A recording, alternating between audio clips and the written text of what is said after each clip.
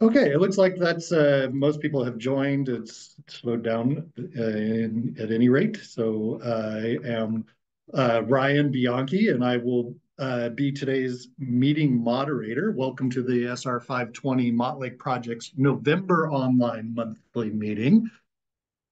In the virtual room, we have Cheryl Webster, who is the communications coordinator with Graham, and we have several WSDOT members online who can answer questions if needed, including Steve Peer, who is the WSDOT communications manager.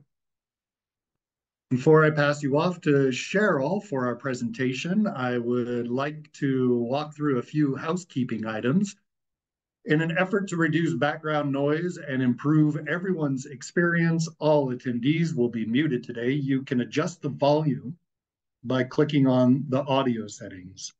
During the presentation, you're encouraged to engage with us. We invite you to submit your questions as they come to you. This is helpful so you don't forget them along the way.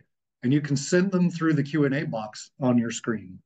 If you would like to view closed captions during the meeting, click on the closed caption button at the top of your screen. These captions are generated by the Zoom application and we are not responsible for their accuracy. When you submit a question, we, request that you send short, complete sentences. This will help us when reading out the questions during the Q&A portion of the event. Please do not use the chat button. We may not see your question if you submit it that way. Okay, now I'll pass it over to Cheryl for our 520 Montlake project presentation. Thank you, Ryan. So like Ryan mentioned, we're going to talk about some current and upcoming work, um, how to stay informed with the project, and then we will answer questions and comments at the end. So feel free to populate those in the question and answers box, and I will um, get to them with the rest of the team at the end of the presentation.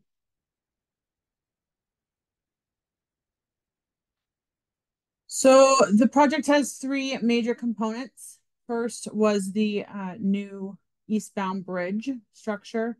Second being the Montlake lid with the new HOV and bus lane and uh, new configure, newly configured on and off ramps.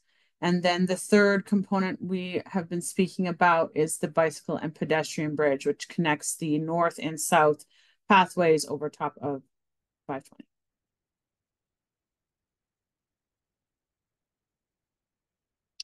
So we'll go through some of the major components of the project in a little more detail, give you some updates on um, status of these.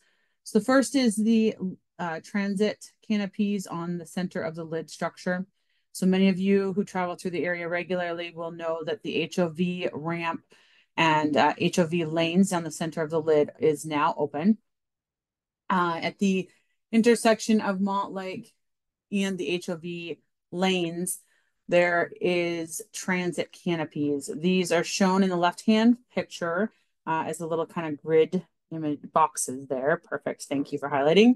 So on the north side of the roadway, there is a small uh, transit shelter we call Transit Shelter A or the North Plaza. And then on the south side, there's two larger transit canopy structures uh, with a plaza area, and then that wraps around to Montlake Boulevard as well. So those transit canopies are primarily all done. They're working on a little bit of um, electrical that's going into them currently. You can see on the right hand pictures some of the crews finishing off some soffit on the 29th there. Um, these canopies will then be in this whole area will be handed over to King County Metro. Uh, they are anticipated to put in some uh, fixtures such as you know the can the card scanning machines, those types of things uh, and do it, some fit out of their own in this area. Uh, we do not have an update as to when these transit canopies will start accepting bus traffic, um, but stay tuned with King County Metro. I'm sure they will roll that out soon.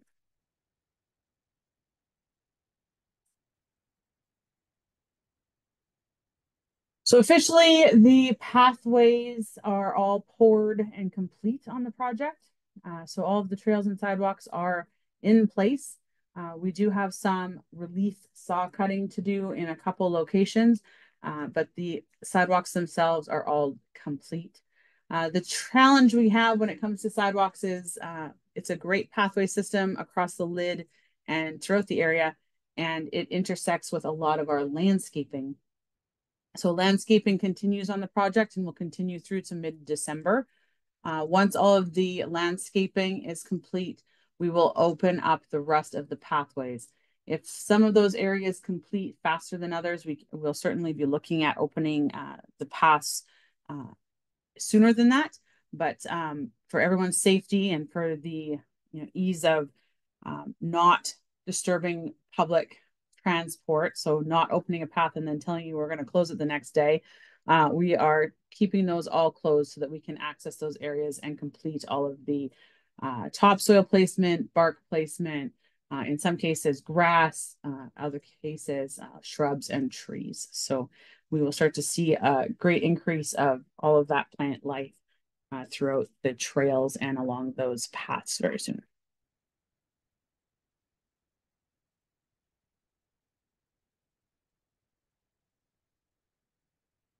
So one of the uh, major components is, of course, that bicycle and pedestrian bridge. So as many of you have known, that has been uh, complete since July.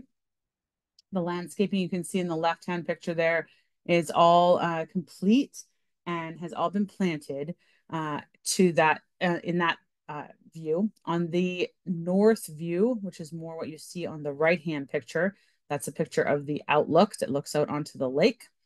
Uh, we just have a few more landscaping components to complete there, as you can see in the photo. Uh, also, some signage has to go into place there, and then it wraps down into a new pathway system connecting across the old OCR and to connect it to the uh, regional path across the lake. So though that area of pathway just got completed this last couple weeks as we had to complete some additional drainage components in the area. Uh, right now, if you go over to that area, you'll see a lot of landscaping happening. So uh, we hope to open this structure along with the rest of the pass in December.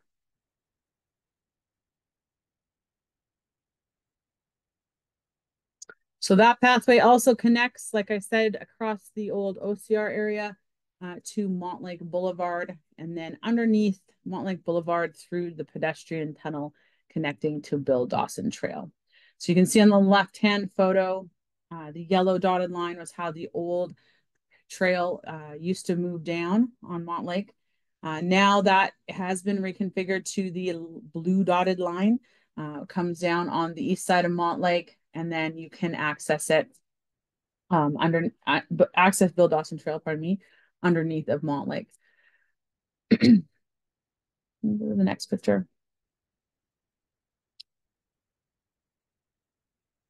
So this is all accessible through a staircase, as you can see in the left-hand photo, and a ramp structure in the right-hand photo. And then you can see in the right-hand photo, the tunnel at the distance there. So the only work that needs to be completed in this area is some striping that needs to be done on the pathway. It's a very congested area between the tunnel and the um, pedestrian land bridge. So we will see some crews out there flagging the path completing some uh, line, striping down the middle of the path. This will define it in those congested areas and allow better movement, safer movement for pedestrians and bicycles. Um, I will say that we've had a lot of comments regarding signage out there regarding this closure. Uh, all of the striping is weather dependent. And as we all see out there today, the weather is not great this week. So this uh, activity was planned for this week. Obviously, it's going to be pushed off. Uh, hopefully, we can get some good weather next week and complete that activity as soon as we have the proper window uh, for weather. So uh, that will shift. Uh, I'm sorry for any confusions that there was on the trail with signage. So I did allude to it a few minutes ago that uh, MOHAI area uh, is uh, the last major area of the project to be completed. So on the right-hand photo, you can see up at the top of the photo is the outlook that we were looking at in the previous pictures of the uh, pedestrian land bridge. Over this past weekend, we moved in what has been described as a small mountain of topsoil that's been placed in this area. And we've been putting into place these grass pavers, which you can see in the uh, on the pallets in the right-hand photo and being placed in the left-hand photo.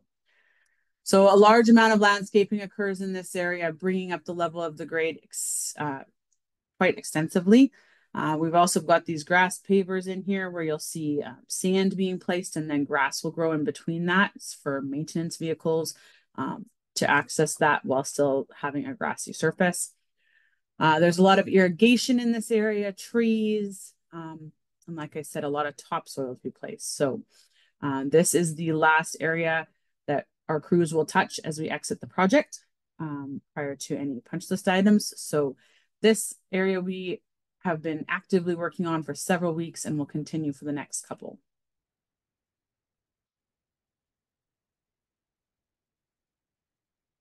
So the other components that we are working on in the project um, are commissioning activities. And commissioning is testing of all of the systems. Those systems are, uh, can include things like lighting, uh, fire systems, fire suppression systems, all structure, all systems that are uh, primarily underneath of the Montlake lid. Uh, we do have signals um, and that as well for testing. So to complete all that testing, we do have a series of single night closures that have been occurring and will continue to occur, incur, continue to occur through uh, December. So you can see on the right-hand side, some of those closures running November 19th, 20th, and 21st, and then uh, the beginning of December as well. Uh, and then we have a larger uh, extended weekend or extended night closure on December 14th for some uh, final commissioning activities. So we, as long as everything is working out well, we anticipate all this to be done by December 14th.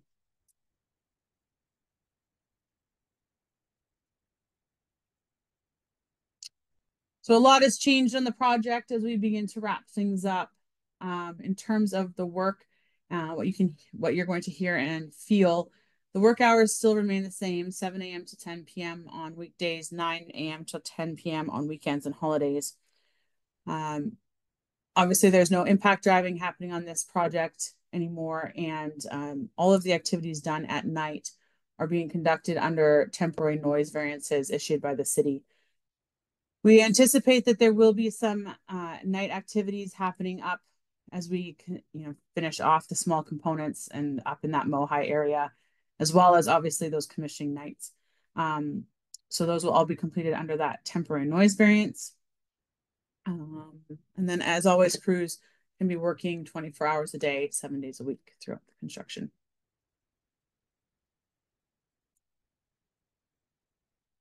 Turn it back to you, Ryan.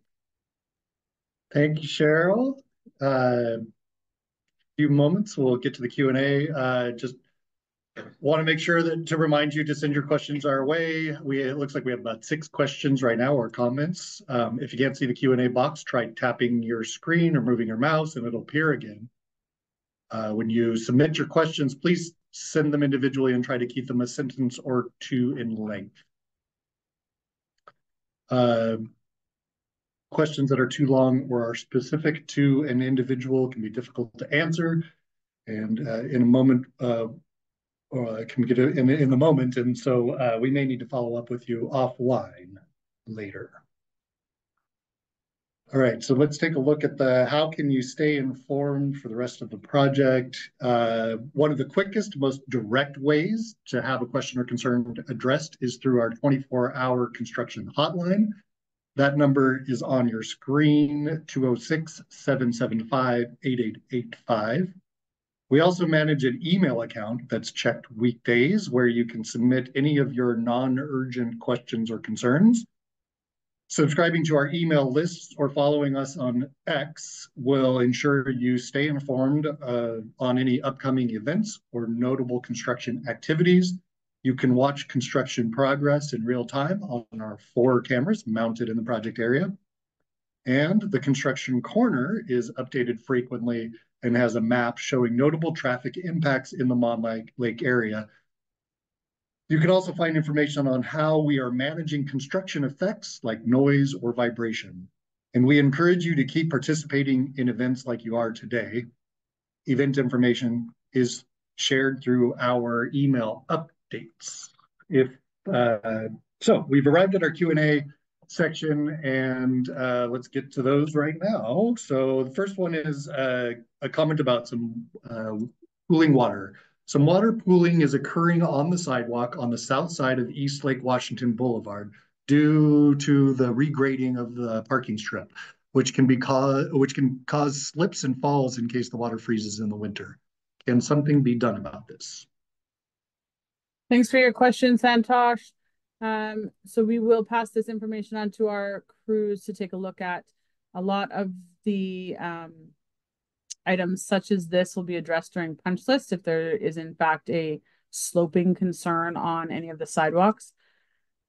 Uh, so I will pass this location on to um, our team and we will look into that for you. Santosh, Santosh, if you could please follow up in the chat and specify if this is east or west of 24 or any other local road information, then we can make sure we get the correct location and have that checked out. All right. Uh, next up, we've got two traffic issues from Priscilla. Westbound 520 exit to Montlake Boulevard has a merging issue with potential for accidents. Carpool lanes off the lid turning right onto Montlake needs a no turn on red next to the traffic light. The lane lines for traffic turning right need to be wider or solid. Cars needing to turn left onto Hamlin Street have limited time to merge over into the left turn lane. Suggest a delayed green light or carpool lane. And then I will, I'll go ahead and read the next one too, and we can, you can uh, respond to both. So this is uh, left turn lane on Montlake at East Hamlin. Currently is a traffic light red. Could be could the light be configured to blinking red or yellow arrow? Also the traffic light change currently is triggered off the traffic light at east shelby. Can a light trigger be added at east Hamlin thank you for your questions priscilla um, so we will take the this information back to the city of seattle who controls the light timing um, and have them you know look at that signal timing a little bit better. I know they just recently made some changes to the northbound Montlake signal timing um, and how it connects with the right hand turn off of that ramp heading northbound. Uh, so I know that they have made recent adjustments on that. So hopefully we can see that that will be uh, improved. Um, we do recognize that that is a large move to move from the right hand lane over to the left, turning on to Hamlin Shelby. So um, that can be a difficult maneuver if you're not in the right lane. Okay, we'll move on to Eddie Spear, who, uh, or sorry, uh, sorry, Leo. uh, are we replacing the temp jersey barriers at the west side of the floating bridge? Uh, thanks for your question, Leo. We are complete with all the work out on the floating bridge. We did have some temporary barriers out there, and those have been removed. What is out there now is uh, final configuration. And I did skip Eddie Spear. I apologize. Uh, can anyone explain the parking signs placed along East Lake Washington Boulevard two weeks ago? Many of them contain a no parking anytime, as well as a two hour parking sign on the same spot. Others contain an arrow pointing perpendicular to the road. Thanks for your question, Eddie. I'm actually not familiar with the signage um, plan in that area, so I will take that information away and we will circle back with you on it.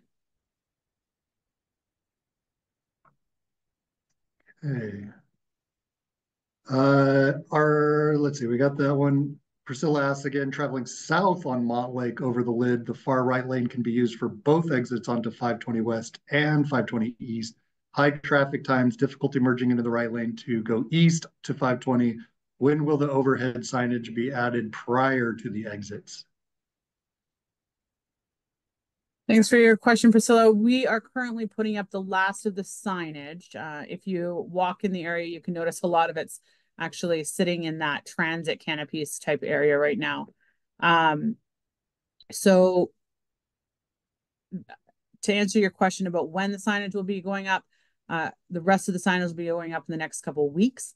Um, whether it is signage that is prior to the lid structure, I am unable to confirm. So um, we will take a look at that and see if there is anything additional that is to be added there.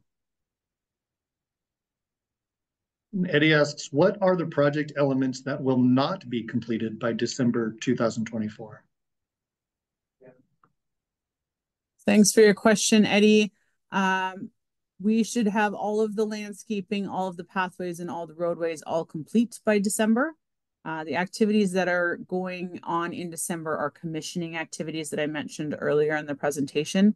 Uh, so those are all testing activities and will um, carry through until all of the systems are functioning properly and we can ensure that it is all operational. Andy, this is Bryant with Graham. Just to add a, a higher level of detail to that, we will be doing landscaping and other punch list activities up to about December 13th. So mid December. And then we would consider the project to not be under active construction after that point in time.